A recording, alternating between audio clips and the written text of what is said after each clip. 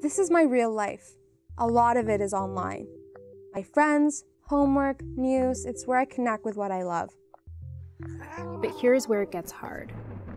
When my ex threatens to share a private picture of me online if I don't share more. When people say I should kill myself after talking about my depression openly online. when someone posts that I'm not a real girl because I'm trans. When I get shamed for what I'm wearing. When someone says my skin is too dark. It hurts. Really bad. It makes me feel unsafe.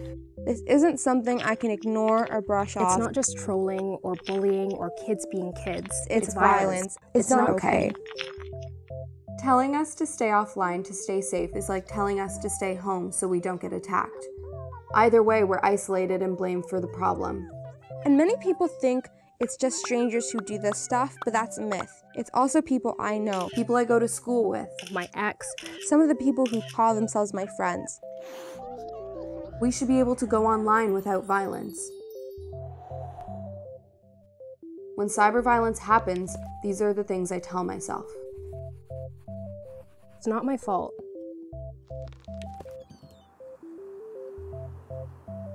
Breathe.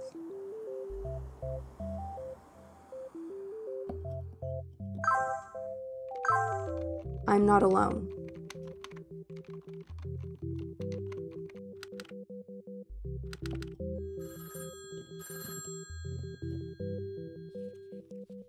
Tell somebody.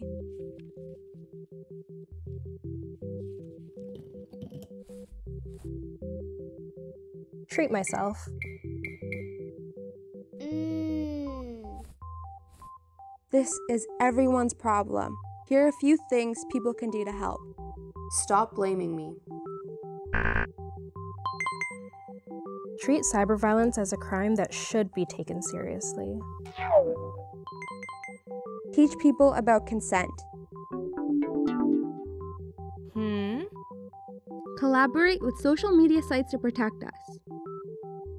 The internet is for all of us. The cost of being a woman online shouldn't be violence. We don't need to be offline or ignore it. We need to press, pause, take care, and take action.